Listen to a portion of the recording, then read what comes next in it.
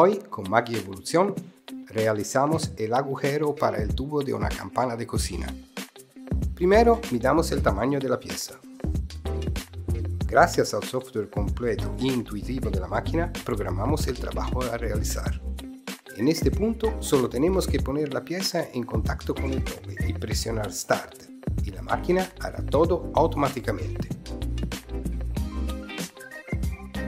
Y voilà, la pieza está pronta.